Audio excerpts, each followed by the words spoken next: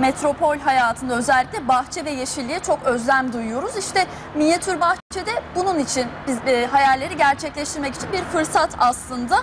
Minik, gerçek bir bahçe gibi ama e, fanusun içinde ya da saksıda bahçemiz e, olabiliyor. İşte biz de sizler için hemen bir mini bahçe yapacağız Songül Hanım'la beraber. Hoş geldiniz yayınımıza. Hoş bulduk, teşekkür ediyorum. Sizler de bahçe marketimize hoş geldiniz. Hoş bulduk. Aslında bunun bir adı var.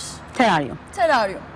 Nedir Evet. teraryum? Kısaca alalım ve hemen Teraryum, başlayalım. teraryuma aslında cam kavanozlarda bitki yetiştirme sanatı diyebiliriz. Yani içerisinde taşların, kumların, çakılların, bitkilerin, yosunların ve bazı objelerin bulunmuş olduğu kara ortamların taklit edildiği doğal bir ortamdır aslında. Hemen dilerseniz başlayalım. Tabii ki. Ben de e, yapmaya çalışacağım Songül Hanım'la beraber.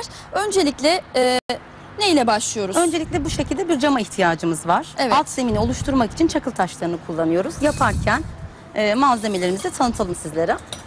Çakıl taşlarını kullanmamızdaki amaç e, bitki köklerinin kökler için zemin hazırlamak yani bir nevi drenaj sağlamak diyebiliriz. Bitki köklerinin çürümesini engellemek için suyun tahliye edilmesi anlamına gelmektedir. Hı hı. Ben de eşlik ediyorum Evet size siz de koyabilirsiniz. Sonra- O kadar yeterli etrafa dağıtacağız. Evet düzledikten sonra ikinci aşama olarak aktif karbon kullanıyoruz. Bunun ismi yani kömür. Hemen Kömürü bir avuç gösterelim. etrafa serpiştiriyoruz.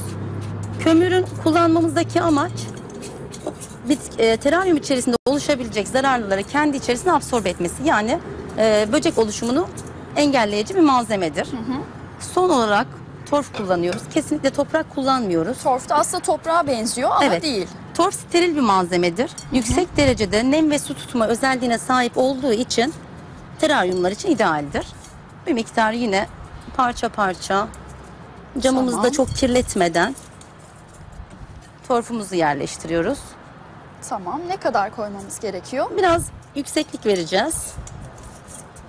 Yani bitkiyi dikerken sağlam dikimi açısından toprağını yükseltmemiz gerekiyor. Biraz daha koyalım. Tamam. Evet bu cam için bu kadar yeterli. Siz de dağıtabilirsiniz Tamam. toprağınızı.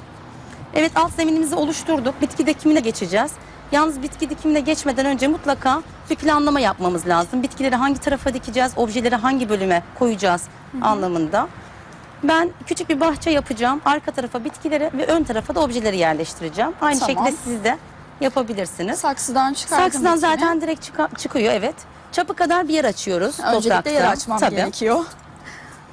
Bitkiye zarar vermeden hemen yerine zaten bitkimizi oturtabiliyoruz. Ve toprakla destekleme yapıyoruz. Sağlam dikimi açısından taşırken ya da sulama yaparken düşmemesi için. Tamam. Şimdi e, süremiz yavaş yavaş azalıyor. Tamam Dolayısıyla ikinci bitkimize geçelim. Yine aynı şekilde çıkartıyoruz. Çapı kadar hemen yan tarafta bir yer açıyoruz. Tamam. Köklerinin görünmemesi gerekiyor. Ben sizin kadar başarılı değilim. Gayet güzel gidiyorsunuz. Biraz çalışmam gerekiyor galiba. Tabii toprak ekleyebilirsiniz. Yeterli gelmediği zamanlarda. Sonrasında ne yapıyoruz? Sonrasında yine bitkileri dikmeye devam ediyoruz. Ön taraflarda objeleri kullanacağız. Tamam, şimdi Yalnız biz bir parça dilerseniz- yosun alalım. Evet doğal görüntüyü verme açısından yosunlarımızı yerleştirelim. Yine köklere zarar vermeden yosunlarımızı bu şekilde temizliyoruz. Arka tarafa doğal görüntü, bahçe görüntüsünü vermek için yerleştiriyoruz yosunlarımızı. Yine aynı şekilde işleme devam ediyoruz. Yosundan sonra hangi evreye geçeceğiz? obje kısmına geçeceğiz. Tasarımımızı tamamlayacağız. Dilerseniz e, hemen obje e, Son bitkimizi dikelim. Onu Tamam. dilerseniz sonrasında ekleyebiliriz. Objelerimizi de koyalım.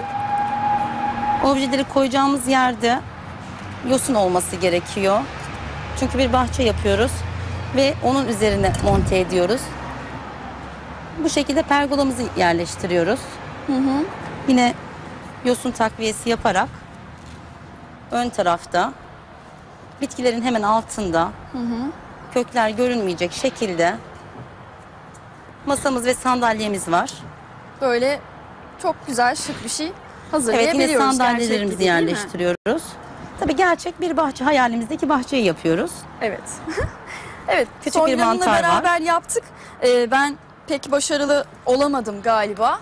Benimkisini şöyle göstereyim. Biraz e, zamana ihtiyacım var gibi görünüyor ama Songül Hanım gayet e, başarılı bir şekilde bizim için mini bir bahçe hazırladı. Hemen size farklı bir örnek de göstermek istiyorum. Bu şekilde de tamamen yeşilliklerden oluşan bir minyatür bahçe hazırlayabilirsiniz. E, kendiniz yapmak istiyorsanız maliyetini de söyleyeyim sizlere. 50 ila 70 lira arasında değişiyor değil mi? Değişiyor evet. Peki. Evet sizler için minyatür bahçeler hazırladık. Dilerseniz sizler de mini mini bu e, ürünlerden alıp kendi bahçenizi kendiniz yapabilirsiniz. Diyelim ve söz tekrar size bırakalım. Bu yayını da noktaladık. Teşekkür ediyoruz. Devam